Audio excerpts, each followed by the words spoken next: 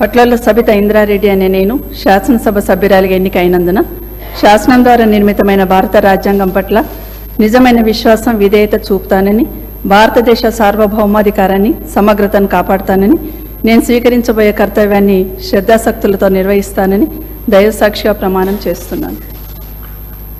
తెలంగాణ శాసనసభ సభ్యురాలినైన పట్లల సబిత ఇంద్రారెడ్డి అనే నేను సభా నియమాలకు కట్టుబడి ఉంటానని వాటిని అనుసరిస్తానని సభా మర్యాదలను పాటిస్తానని సంప్రదాయాలను గౌరవిస్తానని దైవ సాక్షిగా ప్రమాణం చేస్తున్నాను.